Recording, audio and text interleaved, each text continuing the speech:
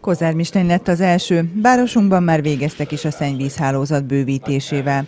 A négy település Bogád, Romonya, Nagykozár és Kozár közül itt fejeződtek be legelőször a munkálatok. A város ezzel duplájára növelte szennyvíz kapacitását, ezzel pedig újabb lehetőséget teremtett a fejlődésre. Az összefogás ismét eredményt hozott. Bogád, Romonya, Nagykozár és Kozár Misleny együtt pályázott szennyvízhálózatának kiépítésére és bővítésére.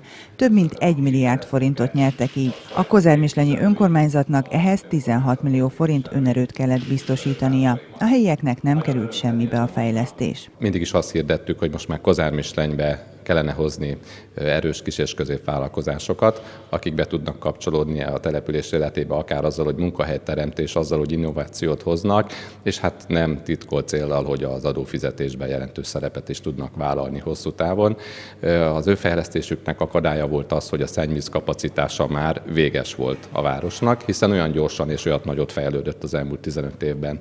Ez a szennyvíz beruházás, ezzel gyakorlatilag megdupláztuk a kozármislány szennyvíz kapacitását, a átemelőink befogadó képességét és a, ennek az eljutatását a Pécsi szennyvízkezelő telepre.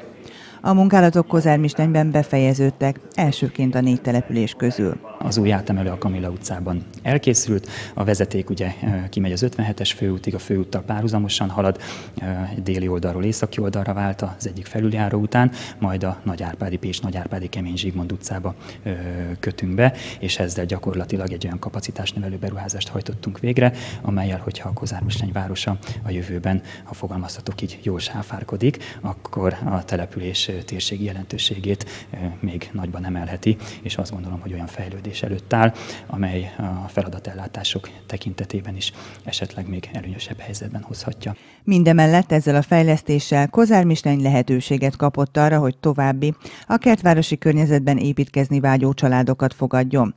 A többi településen még folytatódnak a munkálatok. A teljes projekt záró rendezvénye június 12-én lesz Bogádon.